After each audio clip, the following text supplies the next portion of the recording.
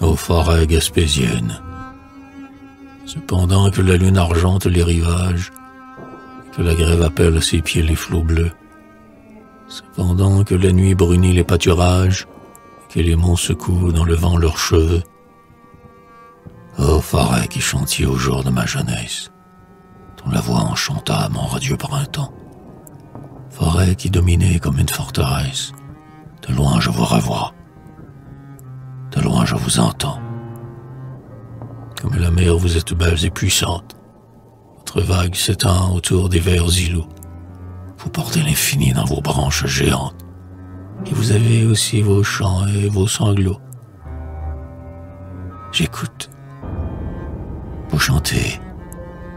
Vous bruyant à mur, pleurent, chantent, frémissent tout à la fois.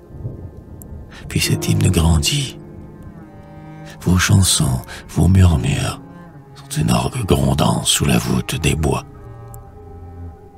J'écoute. Vous chantez, fort gaspésienne. Dans l'air tiède des soirs, vos souffles apaisés ont des gazouillements, des paroles humaines, de longs soupirs d'amour et des bruits de baisers.